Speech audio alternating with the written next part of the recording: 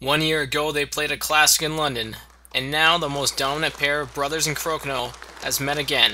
The finals of the 2013 Golden Horseshoe Crokinole Tournament is coming up next.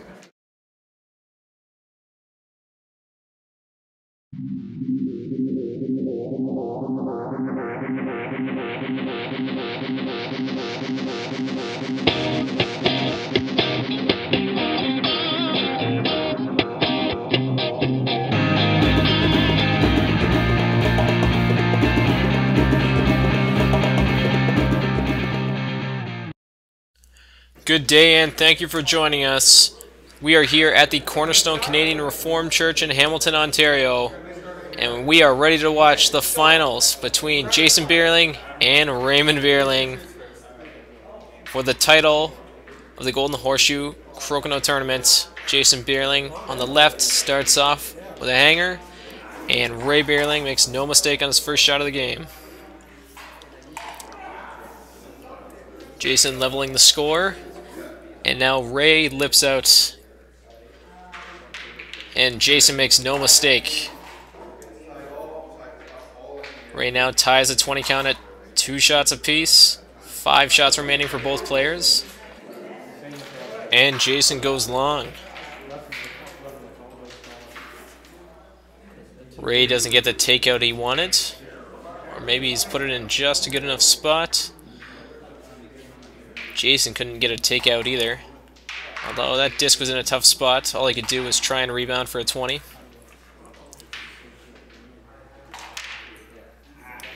Decent attempt from Jason.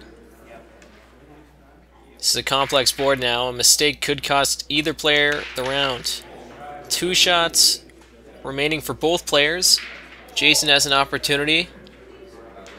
Oh, and what a beautiful touch from Jason. He just had to kiss his own disc, and he sent it just barely into the 20 hole. Last shot left here for Jason. Oh, and he rolls his disc right out of the house. He's up at 20, but right now with the very last shot of the round, all he needs to do is roll into the house. And he does, scoring the 20, tying the 20 count at three 20s each but winning with his 15 points on the board. And Ray Beierling takes a 2-0 lead in this best of three final. Ray to start off the second rounds. He'll go long. Both players having a little bit of trouble finding their range now. Great shot from Jason to hide, find a post. But a very interesting shot there from Ray, trying to get his discs back into the middle without wasting too many at the start. Great double takeout from Ray Beierling. Five shots remaining for both players in this round.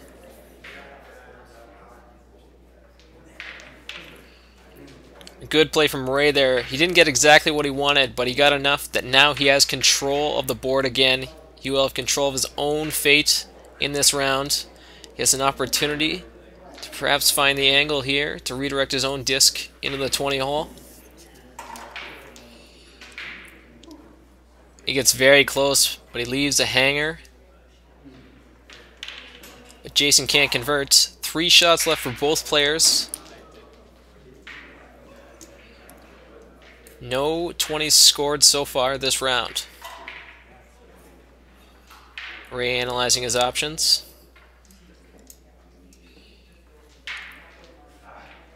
He's either looking at trying to score a 20 through a follow through here, maybe get a double takeout, or maybe even get both. And he gets that follow through that he wanted. Scoring a 20. And now Jason misses. Big opportunity for Ray. Ray goes up by two 20s. Jason just now trailing by one last shot left for both players. And Jason will have an opportunity if he can hit a follow through here to tie the round. Jason can't do it, and Ray Beierling goes up 4 nothing in game one. Some great stuff from Ray Beierling in that round. He made the 20s when he needed them.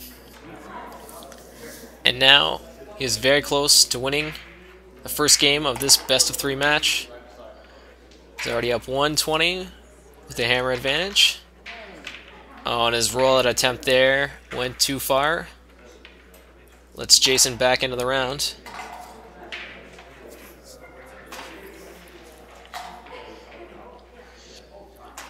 For Jason to have an opportunity of winning this round, he will need Ray to make the first mistake here. Uh, but Jason gives up another hanger. And Ray Beierling sealing the door shut to this first game. Two shots remaining for both players.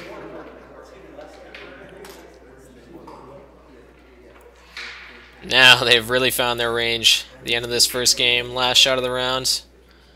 Ray Beierling takes the third round by a score of 7 to 5 in the 20s. And he wins the game 6 nothing. Great start for Ray Beierling as they switch ends. Prepare for game two.